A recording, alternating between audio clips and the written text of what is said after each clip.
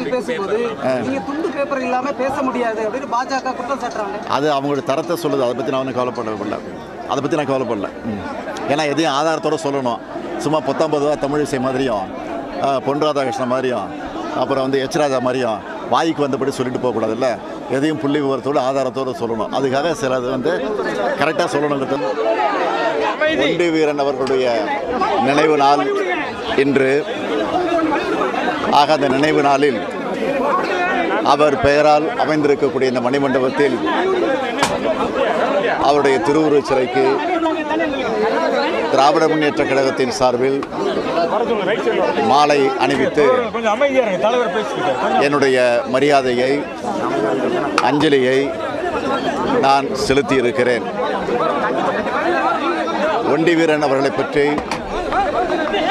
குறிப்பிட்டு சொல்ல வேண்டும் என்று சொன்னால் சுமார் இரண்டாயிரம் வீரர்களை கொண்டிருக்கக்கூடிய ஆங்கிலேய தளபதி கர்னல் எராயனை எதிர்த்து போராடி வெற்றி கண்டவர் ஒண்டி வீரர் அவர்கள் ஆவார்கள். ஆக அவருக்கு தான் தலைவர் கலைஞருடைய ஆட்சியிலே மணிமண்டபம் கட்டுவதற்கு அவருடைய திருவுருவச் சிலையை அமைப்பதற்கு நிதி ஒதுக்கீடு செய்யப்பட்டு அந்த அடிப்படையில் தான் இன்றைக்கு இந்த மணிமண்டபம் இங்கே அமைந்திருக்கிறது. அது மட்டுமல்ல அவர் எந்த உணர்வோடு போராடினாரோ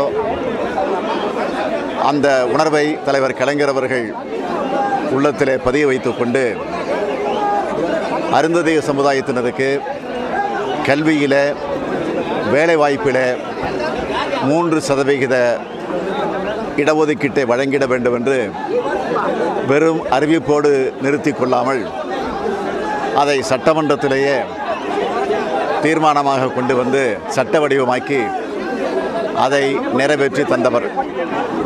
எனக்கு இதில் என்ன பெருமை என்று கேட்டால் தலைவர் கலைஞர் அவர்கள் அந்த சட்டத்தை நிறைவேற்றுகிற அந்த நாளில் உடல் நலிவுற்ற நிலையில் மருத்துவமனையில் ஓய்வெடுத்துக் கொண்டிருந்த அந்த சூழலை அப்பொழுது அவருக்கு பதிலாக துணை முதலமைச்சராக இருந்த நான் அந்த சட்டத்தை சட்டமன்றத்தில் அறிமுகப்படுத்தி அதற்கு பிறகு சட்டமன்றத்தில் அது ஏகமனதாக நிறைவேற்றப்பட்டிருக்கிறது என்பது உள்ளபடி எனக்கு கிடைத்த பெருமை.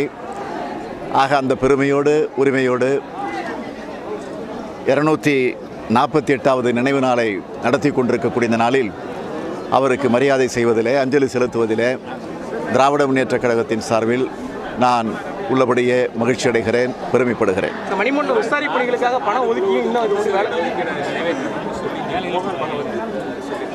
அதான் நாங்கள் திமுக திமுக அதுக்கான எதிர்ப்பெல்லாம் சொல்லியிருக்கிறோம். அதுக்கு என்ன என்னென்னலாம் சொல்லியிருக்கிறோம். புதுசாக ஒன்றும் சொல்ல வேண்டிய அவசியம் இல்லை. ஆ ரெண்டாயிரத்தி பதினொன்றில் என்றைக்கு அதிமுக ஆட்சிக்கு வந்ததோ அன்றிலிருந்து இந்த பால் விலை உயர்வு என்பது மூன்றாவது முறையாக அரங்கேறி இருக்கிறது. எப்பொழுதுமே பால் மக்களுக்கு பார்ப்பார்கள் என்று தான் கேள்விப்பட்டிருக்கிறோம். அந்த பாலினால் மக்களுடைய வயிற்றில் அடித்திருக்கக்கூடிய நிலை தான் ஏற்பட்டிருக்கிறது. இதை கேட்டால் பழனிசாமி எடப்பாடி பழனிசாமி என்ன சொல்வார் என்றால் கொள்முதல் விலையை உயர்த்துகிற போது அதை வாங்குகிற வாடிக்கையாளர்களுக்கு சிரமப்படுத்தக்கூடிய வகையில் அதையும் நாங்கள் உயர்த்தி இருக்கிறோம் என்று பெருமையாக சொல்லுகிறார். வேறு வழி இல்லை என்று சொல்லுகிறார். கொள்முதலாளர்களுக்கும் மக்களுக்கும் ஒரு பிளவை ஏற்படுத்துவதற்கு ஒரு சண்டையை மூட்டுவதற்கான முயற்சி தான் தவிர வேறு ஒன்றும் இல்லை அது மட்டுமல்ல ராஜேந்திர பாலாஜி பால்வளத்துறை அமைச்சராக இருக்கக்கூடிய மாண்புமிகு ராஜேந்திர பாலாஜி அவர்கள் இந்த பாலை பொறுத்த வரைக்கும் பால் வளத்தை பொறுத்த வரைக்கும் அதிக லாபத்தில் இயங்கி கொண்டிருக்கிறது என்று பெருமையோடு சொல்கிறார். ஆனால் எடப்பாடி பழனிசாமி முதலமைச்சர் என்ன சொல்கிறார் நஷ்டத்தில் இயங்கி கொண்டிருக்கிறது அதனால் தான் நாங்கள் பால் விலையை உயர்த்தினோம் என்று சொல்கிறார். ஆக இந்த இதிலே அவர்களுக்குள்ளே முரண்பாடு இருக்கிறது. எது உண்மை எது பொய் என்பதை மக்களிடத்தில் அவர் எடுத்து சொல்ல வேண்டும் என்பதுதான் என்னுடைய கோரிக்கை. இடைத்தேர்தல் தேதி அறிவிக்கட்டும். அறிவிச்சதுக்கு பிறகு நீ கேட்குற கேள்வி நம்ம சொல்லலாம்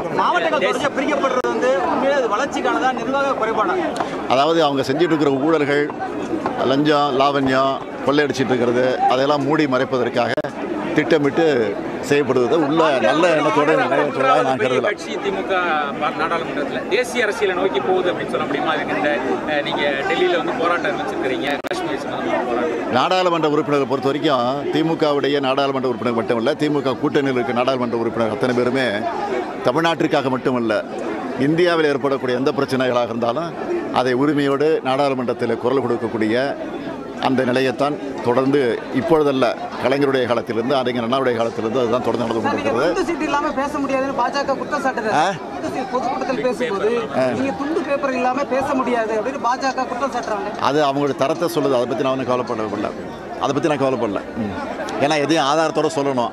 சும்மா பத்தொம்பது ரூபா தமிழிசை மாதிரியும் பொன் ராதாகிருஷ்ணன் மாதிரியும் அப்புறம் வந்து எச் ராஜா மாதிரியும் வாய்க்கு வந்தபடி சொல்லிட்டு போகக்கூடாதுல்ல? எதையும் புள்ளி விவரத்தோடு ஆதாரத்தோடு சொல்லணும். அதுக்காக சில அது வந்து கரெக்டாக சொல்லணுங்கிறத சொன்னேன் அதான் சொல்கிறேனே அதெல்லாம் மூடி மறைப்பதற்காகத்தான் காஷ்மீர் பிரச்சனையை இன்றைக்கு பிஜேபி கையில் எடுத்திருக்கிறது. அதுதான் நல்லா இருக்கக்கூடிய எந்த வேலை கூடினாலும் பொதுமக்கள் பாதிக்க தான் பண்ணுவாங்க விலைவாசி கூடுதான் கூடும். ஆனால் அது கூடாமல் பார்த்துக் கொள்வது அரசாங்கத்தினுடைய கடமை.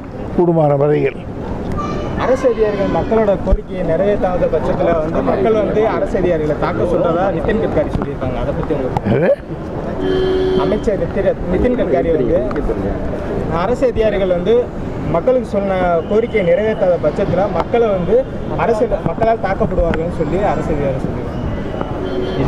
நிதின் கட்காரி அப்படி சொல்லியிருக்காங்க அவர் என்ன சொன்னாருன்னு எனக்கு தெரியாது. நீங்கள் அதில் இன்னும் எவ்வளோ எடுத்து சொல்கிறீங்கன்னு எனக்கு தெரியாது. ஏன்னா எனக்கு வேற நேரடியாக நான் கேட்காத செய்தியை நான் சொல்ல முடியாது. அதாவது ஹிந்தியில் சொல்லியிருப்பாரு. இது கொஞ்சம் குறை போக கொஞ்சம் கம்மி அப்படி தான் சொல்லிக்கிட்டு இருப்பாங்க. சார் ரவீந்திரநாத் ரவீந்திரநாத் குமார் வந்து நேற்று என்ன சொல்லியிருக்காரு? யாரு? திமுக வந்து நாகரிகம் இல்லாமல் யாரு? ஓபிஎஸ் உடைய ரவீந்திரநாத் தேடி பாராளுமன்ற உறுப்பினர். Gracias.